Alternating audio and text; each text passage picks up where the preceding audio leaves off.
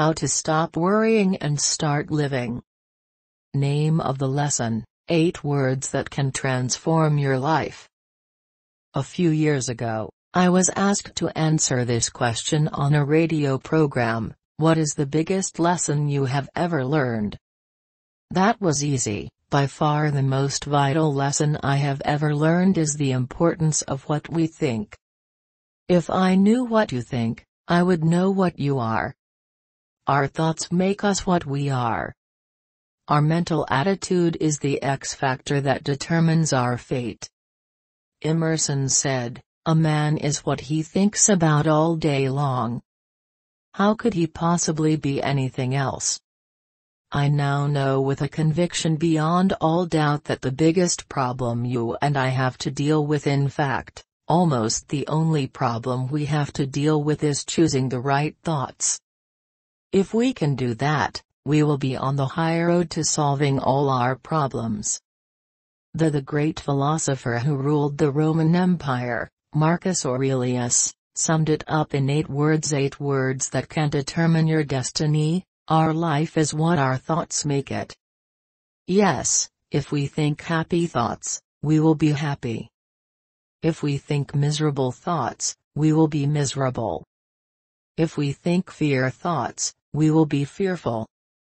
If we think sickly thoughts, we will probably be ill. If we think of failure, we will certainly fail. If we wallow in self-pity, everyone will want to shun us and avoid us.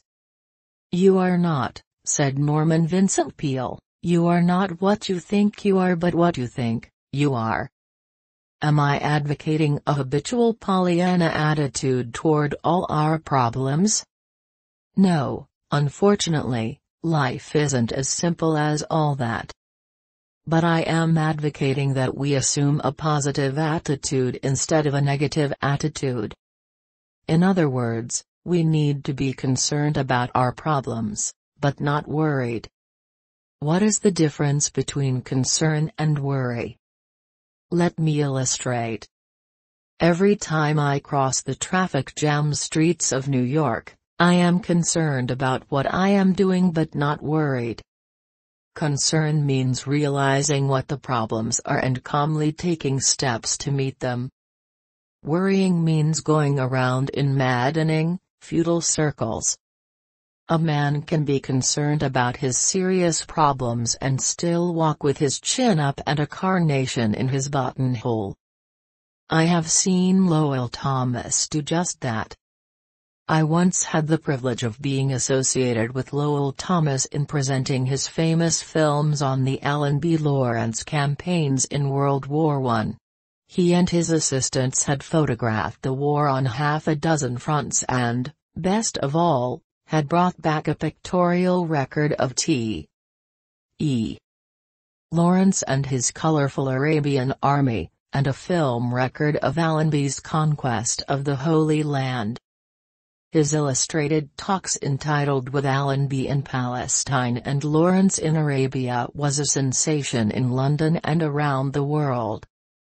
The London opera season was postponed for six weeks so that he could continue telling his tale of high adventure and showing his pictures at Covent Garden Royal Opera House.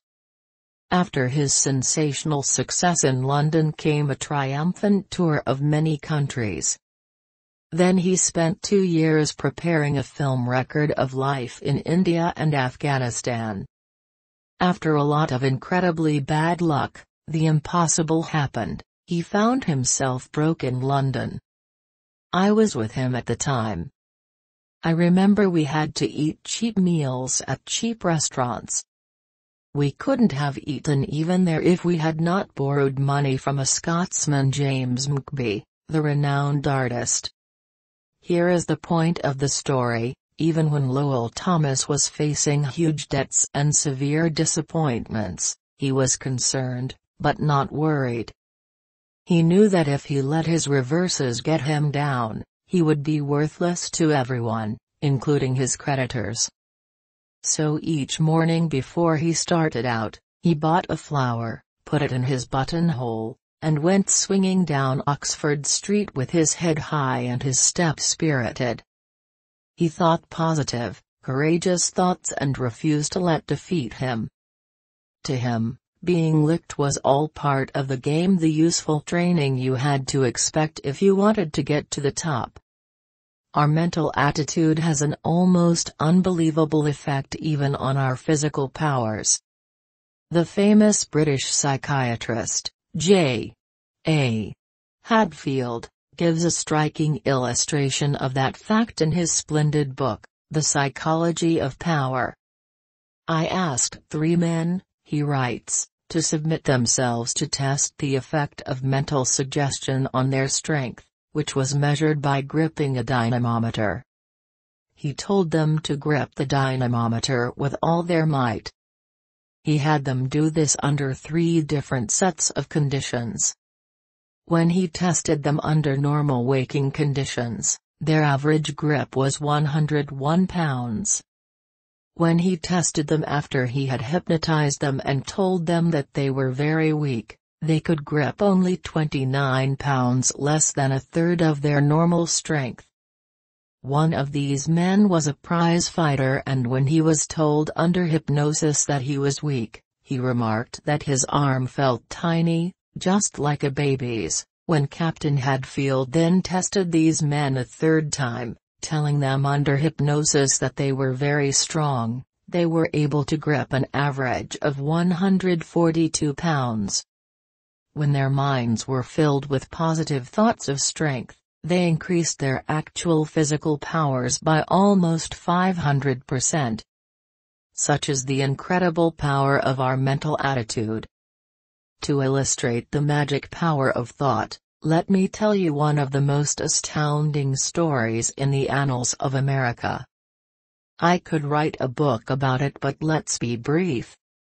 On a frosty October night, shortly after the close of the Civil War, a homeless, destitute woman, who was little more than a wanderer on the face of the earth, knocked at the door of Mother Webster, the wife of a retired sea captain, living in Amesbury, Massachusetts. Opening the door, Mother Webster saw a frail little creature, scarcely more than a hundred pounds of frightened skin and bones. The stranger, Mrs. Glover, explained she was seeking a home where she could think and work out a great problem that absorbed her day and night. Why not stay here? Mrs. Webster replied. I'm all alone in this big house.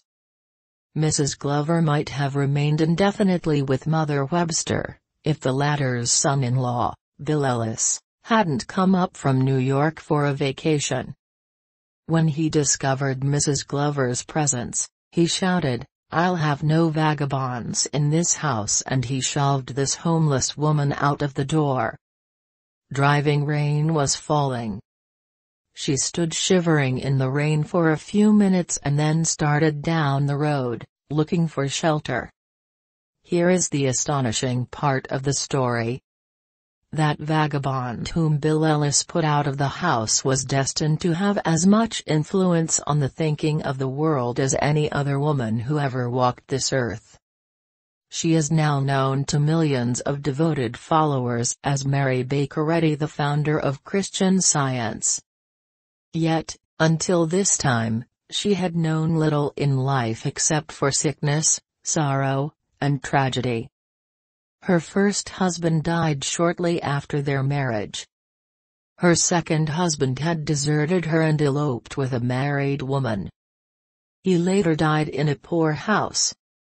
She had only one child, a son and she was forced, because of poverty, illness, and jealousy, to give him up when he was four years old.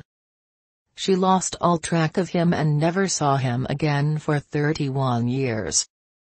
Because of her own ill health, Mrs. Eddy had been interested in years in what she called the science of mental healing. But the dramatic turning point in her life occurred in Lynn, Massachusetts. Walking downtown one cold day, she slipped and fell on the icy pavement and was knocked unconscious. Her spine was so injured that she was convulsed with spasms. Even the doctor expected her to die. If by some miracle she lived, he declared that she would never walk again. Lying on what was supposed to be her deathbed, Mary Baker Eddy opened her Bible, and was led, she declared, by divine guidance to read these words from St. Matthew, and, behold, they brought to him a man sick of the palsy, lying on a bed, and Jesus said unto the sick of the palsy, Son, be of good cheer thy sins be forgiven thee. Arise, take up thy bed, and go unto thine house. And he arose and departed to his house.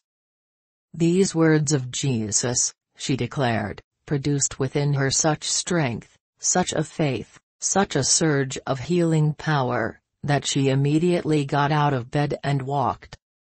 That experience, Mrs. Eddy declared, was the falling apple that led me to the discovery of how to be well myself and how to make others so. I gained the scientific certainty that all causation was mind, and every effect a mental phenomenon. Such was the way in which Mary Baker Eddy became the founder and high priestess of a new religion, Christian Science the only great religious faith ever established by a woman a religion that has encircled the globe. You are probably saying to yourself by now, this man Carnegie is proselytizing for Christian science. Number. You are wrong. I am not a Christian scientist. But the longer I live, the more deeply I am convinced of the tremendous power of thought. As a result of 35 years spent teaching adults, I know men and women can banish worry, fear, and various kind of illness, and can transform their lives by changing their thoughts. I know. I know. Exclamation mark I know. I have seen such incredible transformations performed hundreds of times. I have seen them so often that I no longer wonder at them. For example, one of these transformations happened to one of my students, Frank J. Whaley of 1469 West Idaho Street, St. Paul, Minnesota. He had a nervous breakdown. What brought it on? Worry. Frank Whaley tells me, I worried about everything, I worried because I was too thin because I thought I was losing my hair because I feared I would never make enough money to get married because I felt I would never make a good father because I feared I was losing the girl I wanted to marry because I felt I was not living a good life. I worried about the impression I was making on other people. I worried because I thought I had stomach ulcers. I could no longer work I gave up my job. I built up tension inside me until I was like a boiler without a safety valve. The pressure got so unbearable that something had to give and it did. If you have never had a nervous breakdown, pray to God that you never do, for no pain of the body can exceed the excruciating pain of an agonized mind. My breakdown was so severe that I couldn't talk even to my own family. I had no control over my thoughts. I was filled with fear. I would jump at the slightest noise. I avoided everybody. I would break out crying for no apparent reason at all. Every day was one of agony. I felt that I was deserted by everybody even God. I was tempted to jump into the river and end it all. I decided instead to take a trip to Florida, hoping that a change of scene would help me. As I stepped on the train, my father handed me a letter and told me not to open it until I reached Florida. I landed in Florida during the height of the tourist season. Since I couldn't get into a hotel, I rented a sleeping room in a garage. I tried to get a job on a tramp freighter out of Miami but had no luck. So I spent my time at the beach. I was more wretched in Florida than I had been at home so I opened the envelope to see what Dad had written. His note said, Son, you are 1,500 miles from home, and you don't feel any different, do you? I knew you wouldn't because you took with you the one thing that is the cause of all your trouble, that is, yourself. There is nothing wrong with either your body or your mind. It is not the situations you have met that have thrown you it is what you think of these situations. As a man thinketh in his heart, so is he. When you realize that, son, come home, for you will be cured. Dad's letter made me angry. I was looking for sympathy, not instruction. I was so mad that I decided then and there that I would never go home. That night as I was walking down one of the side streets of Miami, I came to a church where services were going on. Having no place to go, I drifted in and listened to a sermon on the text, He who conquers his spirit is mightier than he who taketh a city. Sitting in the sanctity of the house of God and hearing the same thoughts that my dad had written in his letter all this swept the accumulated litter out of my brain. I was able to think clearly and sensibly for the first time in my life. I realized what a fool I had been. I was shocked to see myself in my true light, here I was, wanting to change the whole world and everyone in it when the only thing that needed changing was the focus of the lens of the camera which was my mind. The next morning I packed and started home. A week later I was back on the job. Four months later I married the girl I had been afraid of losing. We now have a happy family of five children. God has been good to me both materially and mentally. At the time of the breakdown, I was a night foreman of a small department handling 18 people. I am now superintendent of carton manufacture in charge of over 450 people. Life is much fuller and friendlier. I believe I appreciate the true values of life now. When moments of uneasiness try to creep in, as they will in everyone's life, I tell myself to get that camera back in focus, and everything is okay. I can honestly say that I am glad I had the breakdown because I found out the hard way what power our thoughts can have over our mind and our body. Now I can make my thoughts work for me instead of against me. I can see now that Dad was right when he said it wasn't outward situations that had caused all my suffering, but what I thought of those situations. And as soon as I realized that, I was cured and stayed cured. Such was the experience of Frank J. Whaley. I am deeply convinced that our peace of mind and the joy we get out of living depends not on where we are, what we have, or who we are, but solely upon our mental attitude. Outward conditions have very little to do with it. For example, let's take the case of old John Brown, who was hanged for seizing the United States arsenal at Harper's Ferry and trying to incite the slaves to rebellion. He rode away to the gallows, sitting on his coffin.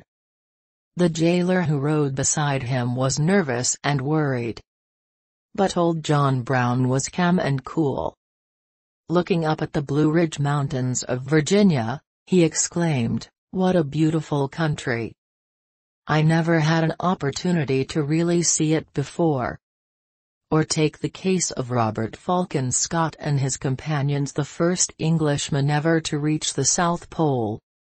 Their return trip was probably the cruelest journey ever undertaken by man. Their food was gone and so was their fuel. They could no longer march because a howling blizzard roared down over the rim of the earth for 11 days and nights a wind so fierce and sharp that it cut ridges in the polar ice. Scott and his companions knew they were going to die, and they had brought a quantity of opium along for just such an emergency. A big dose of opium and they could all lie down to pleasant dreams, never to wake again. But they ignored the drug, and died singing ringing songs of cheer. We know they did because of a farewell letter found with their frozen bodies by a searching party, eight months later. Yes, if we cherish creative thoughts of courage and calmness, we can enjoy the scenery while sitting on our coffin, riding to the gallows or we can fill our tents with ringing songs of cheer, while starving and freezing to death.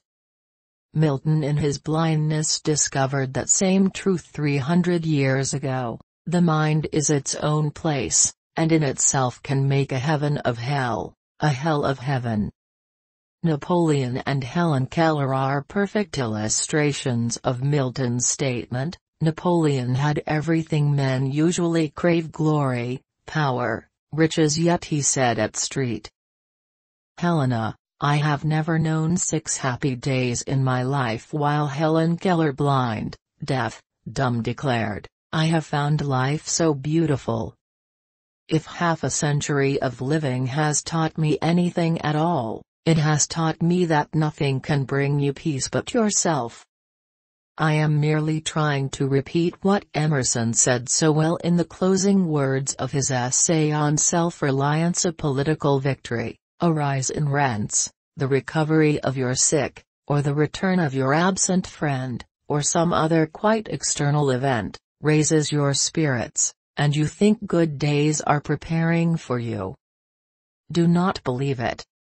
It can never be so. Nothing can bring you peace but yourself. Epictetus, the great Stoic philosopher, warned that we ought to be more concerned about removing wrong thoughts from the mind than about removing tumors and abscesses from the body. Epictetus said that 19 centuries ago, modern medicine would back him up. Drive G. Canby Robinson declared that four out of five patients admitted to Johns Hopkins the hospital was suffering from conditions brought on in part by emotional strains and stresses. This was often true even in cases of organic disturbances. Eventually, he declared, this traced back to maladjustments to life and its problems. Montaigne, the great French philosopher, adopted these 17 words as the motto of his life, a man is not hurt so much by what happens, as by his opinion of what happens. And our opinion of what happens is entirely up to us. What do I mean? Have I the colossal effrontery to tell you to your face when you are mowed down by troubles, and your nerves are sticking out like wires and curling up at the ends have I the colossal effrontery to tell you that, under those conditions, you can change your mental attitude by an effort of will? Yes, I mean precisely that. And that is not all. I am going to show you how to do it. It may take a little effort, but the secret is simple. William James, who has never been topped in his knowledge of practical psychology, once made this observation, action seems to follow feeling, but really action and feeling go together and by regulating the action, which is under the more direct control of the will, we can indirectly regulate the feeling, which is not. In other words, William James tells us that we cannot instantly change our emotions just by making up our minds but that we can change our actions. And that when we change our actions, we will automatically change our feelings. Thus, he explains, the sovereign voluntary path to cheerfulness, if your cheerfulness be lost, is to sit up cheerfully and to act and speak as if cheerfulness were already there. Does that simple trick work? It works like plastic surgery. Try it yourself. Put a big, broad, honest to God smile on your face throw back your shoulders take a good, deep breath and sing a snatch of song. If you can't sing, whistle. If you can't whistle, hum. You will quickly discover what William James was talking about that it is physically impossible to remain blue or depressed while you are acting out the symptoms of being radiantly happy. This is one of the little basic truths of nature that can easily work miracles in all our lives. I know a woman in California I won't mention her name who could wipe out all of her miseries in 24s if only she knew this secret. She's old, and she's a widow that's sad, I admit but does she try to act happy? No if you ask her how she is feeling, she says, oh, I'm alright but the expression on her face and the whine in her voice says, oh, God, if you only knew the troubles I've seen. She seems to reproach you for being happy in her presence, Hundreds of women are worse off that she is, her husband left her enough insurance to last the rest of her life, and she has married children to give her a home. But I've rarely seen her smile. She complains that all three of her sons-in-law are stingy and selfish although she is a guest in their homes for months at a time and she complains that her daughters never give her presents although she hoards her own money carefully, for my old age. She is a blight on herself and her unfortunate family. But does it have to be so? That is the pity of it she could change herself from a miserable, bitter, and unhappy old woman into an honored and beloved member of the family if she wanted to change and all she would have to do to work this transformation would be to start acting cheerful start acting as though she had a little love to give away instead of squandering it all on her own unhappy and embittered self. I know a man in Indiana H. J. Englert, of 1335 Nth Street, Tell City, Indiana who is still alive today because he discovered this secret. Ten years ago Mr. Englert had a case of scarlet fever and when he recovered, he found he had developed nephritis, a kidney disease. He tried all kinds of doctors, even quacks, he informs me, but nothing could cure him. Then, a short time ago, he got other complications. His blood pressure soared, he went to a doctor and was told that his blood pressure was hitting the top at 214. He was told that it was fatal that the condition was progressive, and he had better put his affairs in order at once.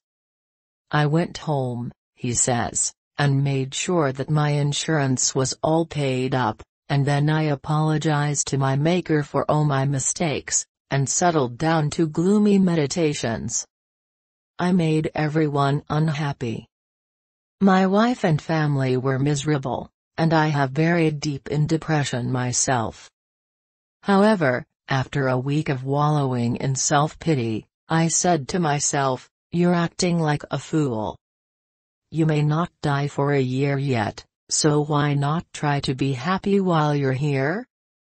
I threw back my shoulders, put a smile on my face, and attempted to act as though everything was normal. I admit it was an effort at first but I forced myself to be pleasant and cheerful, and this not only helped my family, but it also helped me. The first thing I knew, I began to feel better almost as well as I pretended to feel. The improvement went on, and today months after I was supposed to be in my grave I am not only happy, well, and alive, but my blood pressure is down. I know one thing for certain, the doctor's prediction would certainly have come true if I had gone on thinking dying thoughts of defeat. But I gave my body a chance to heal itself, by nothing in the world but a change of mental attitude. Let me ask you a question. If merely acting cheerful and thinking positive thoughts of health and courage can save this man's life, why should you and I tolerate for one a minute more our minor glooms and depressions? Why make ourselves, and everyone around us, unhappy and blue, when it is possible for us to start creating happiness by merely acting cheerful. Years ago, I read a little book that had a lasting and profound effect on my life. It was called As a Man Thinketh, by James Lane Allen, and here's what it said. A man will find that as he alters his thoughts towards things and other people, things and other people will alter towards him. Let a man radically alter his thoughts, and he will be astonished at the rapid transformation it will effect in the material conditions of his life. Men do not attract that which they want, but that which they are. The divinity that shapes our ends is in ourselves. It is our very self. All that a man achieves is the direct result of his own thoughts. A man can only rise, conquer and achieve by lifting up his thoughts. He can only remain weak and abject and miserable by refusing to lift up his thoughts. According to the book of Genesis, the Creator gave to man dominion over the whole wide earth. A mighty big present. But I am not interested in any such superroyal prerogatives. All I desire is dominion over myself, dominion over my thoughts, dominion over my fears, dominion over my mind and over my spirit. And the wonderful thing is that I know that I can attain this dominion to an astonishing degree, any time I want to, by merely controlling my actions which, in turn, control my reactions. So let us remember these words of William James, much of what we call evil can often be converted into a bracing and tonic good by a simple change of the sufferer's the inner attitude from one of fear to one of the fight. Let's fight for our happiness.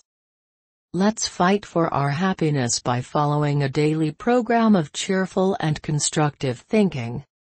Here is such a program. It is entitled Just for Today.